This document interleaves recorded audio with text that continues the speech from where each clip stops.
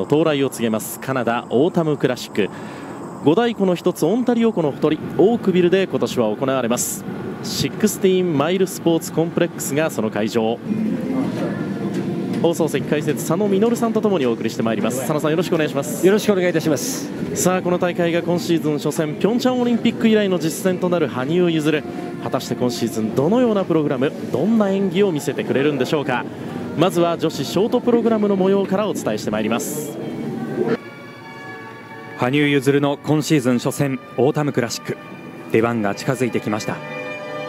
目を閉じて集中力を研ぎ澄ませます。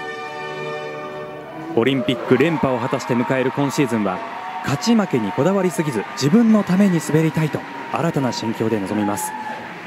自分のためにというシーズンなんですね。うんその辺のところがねどんな形でそれが演技に現れてくるのか非常に楽しみですし使ってる曲がね今まで使ってたメイスケーターの曲を使うということですから、それを羽生流にアレンジしてくる。そこも見どころですよね。ショートはジョニー・ウィアーのプログラムそしてフリーはエフゲニー・プルシェンコのプログラムと自身が子どもの頃に憧れた選手のプログラムをもとに今シーズンの羽生の演技が行われます。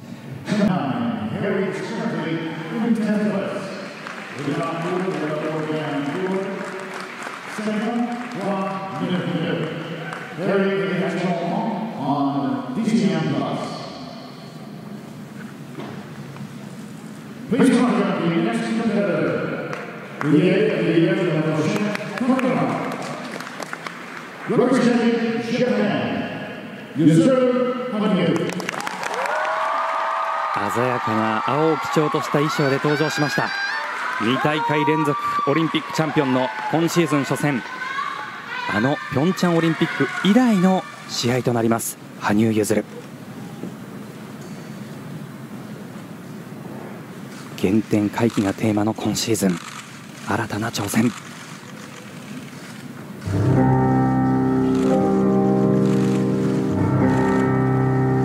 羽生の今シーズンのショートプログラムは秋に寄せて初心に帰って楽しみたいというシーズン。かつて憧れたジョニー・ウィアーが演じたプログラムです。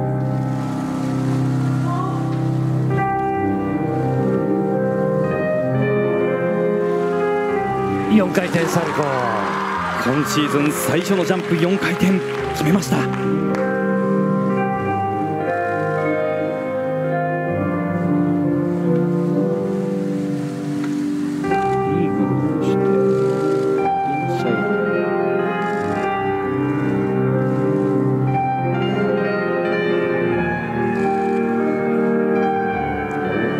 ツイズルからトリプルアクセルまたツイズルですね。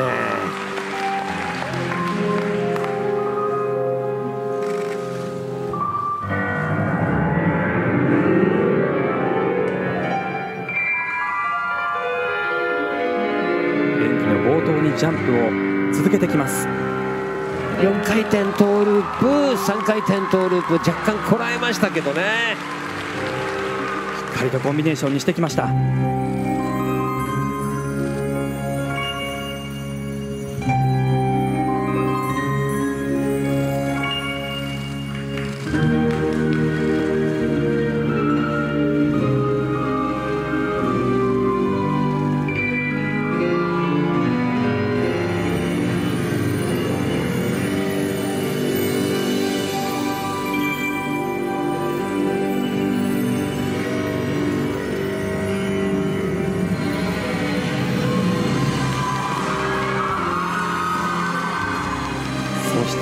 そう歓声が大きくなりました。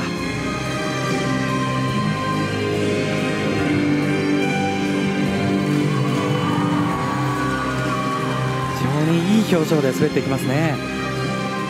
気持ちいいんでしょうね。滑っていて。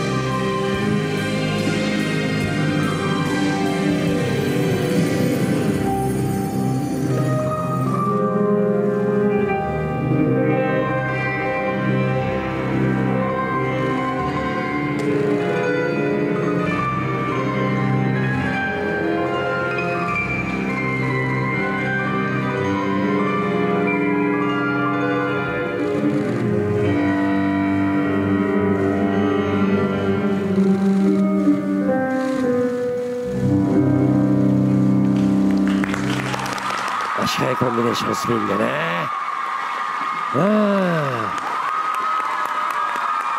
笑顔で滑り切っていきました。新たな羽生の挑戦。その始まり。今シーズン初戦の演技でした。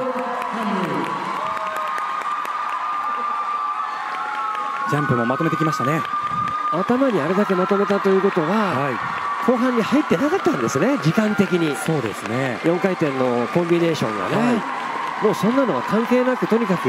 やっていこうという姿勢なんですね。これはこれでなんかこううん見ている限りでは非常になんていうかなあっという間に終わってしまう、えー、その辺の印象がそういうことなんでしょうね。その辺りが羽生が話していた勝ち負けにはこだわらない、はい、自分のために滑るそういったプログラムなんですね。そうですね。一番やりやすいっていう形なんじゃないかなと思うんですけどね、はい、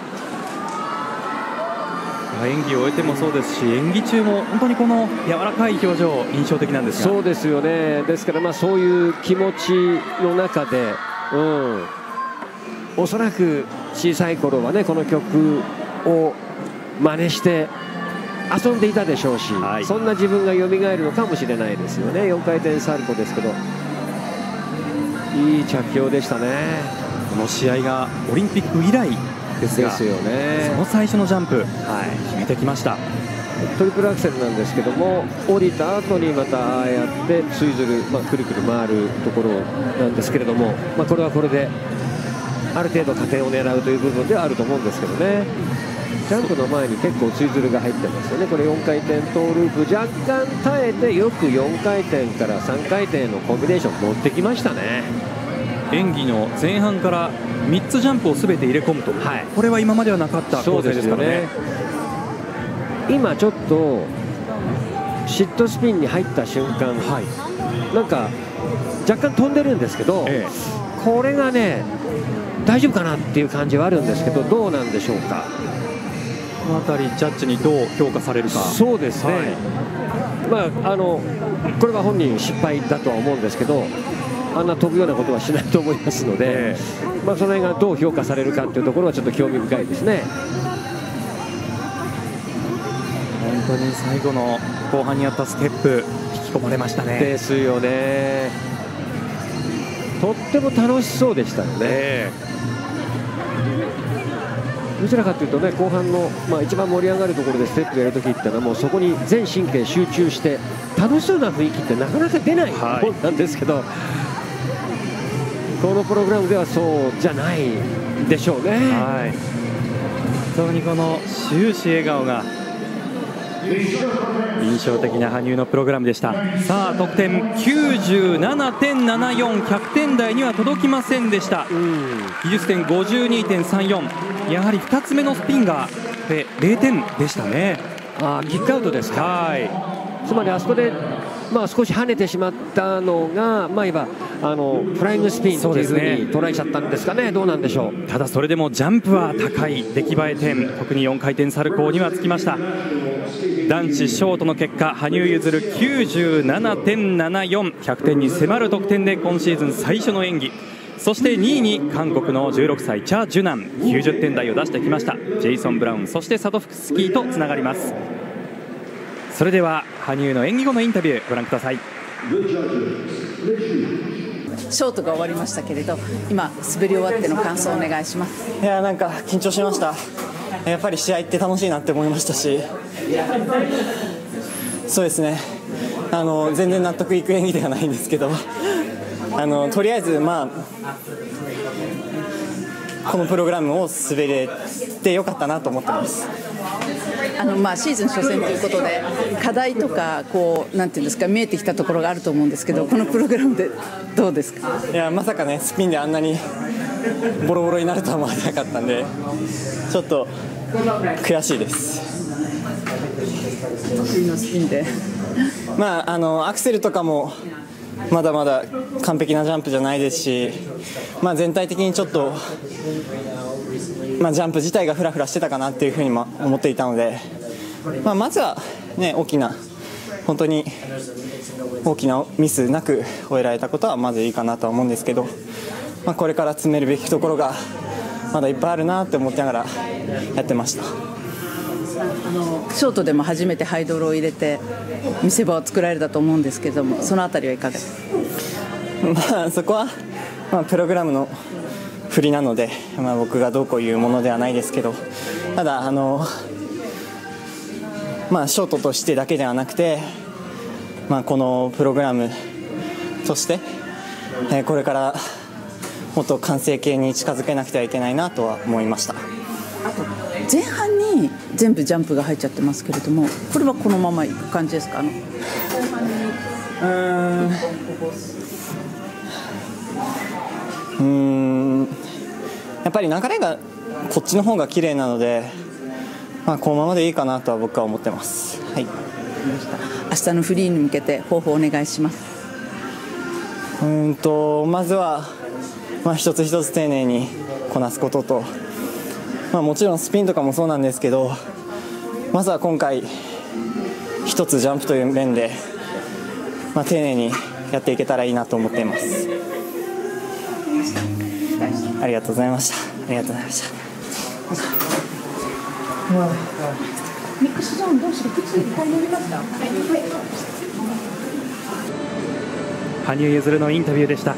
まずは佐野さん、試合って楽しいなっていう第一声でしたね。ねまあ、その緊張感の中で、まあ、自分が滑っていくっていうところの、まあ、楽しさだとは思うんですけれども、はい、まあ、その試合の楽しさを求めて今回はね高橋大輔君も復帰してきましたからね、それだけ試合っていうのは魅力があるっていうところなんでしょうね。スピンがボロボロだったっていうのですね、ね やっぱりね。うん、やはり佐野さんも指摘された点、ちょっと入りの部分から、はい、そうですね、はい、あそこでまあちょっと跳ねてしまったのが、スピンがキックアウトされてしまった原因なのかなというふうに思うんですけども、えー、まあ、とにかく0点になってしまうっていうのはね、あいけないことですので、ここのところはまあ難しい入り方はしていくんでしょうけども、うん、そこが大きな課題になっていくでしょうね。それでも100点に近づいてきたという、いやいやいや、これはもう本当に大きいところですよね。えーまあ、それでいうと今度フリーなんですが、はい、今シーズン男子のフリーはルール大きく変わりますからね。時間が短くなってますんで、えー、まあ、30秒短くなって女子と全く同じ、はい、ただやっぱりその中でも4分半で見せていた内容を見せなくてはいけないですから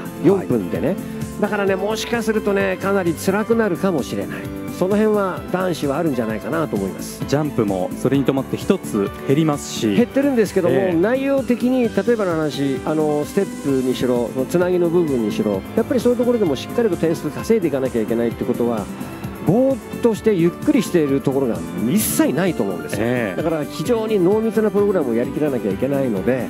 かなり辛くなるんじゃないかなっていうのは私の予想ですね。羽生自身もかなりきついと忙しいというふうにフリーに関しては表現していました。あなるほど、はい、はいえー、ただそのフリーのプログラムは憧れのプルシェンコのニジンスキーに捧ぐをモチーフにしたオリジンという。そうですよね。新しい名前もつけついてるわけですからね、はい、楽しみですねまたね。はい。そして女子で言いますと樋口そして松田ともにちょっとこうコンディションも心配ですが、はい、フリーに向けては、うん、まあなんとかその辺のところを踏まえた上でどう自分をフリーの中で生かしていくかっていうところも一つ大きな課題ですから、え。うん、慎重にやっていってほしいなっていうふうに思いますこのオータムクラシックからおよそ1か月でグランプリシリーズ開幕、まあ、羽生結弦は第3戦のフィンランドと第5戦のロシア大会エントリーしてますが、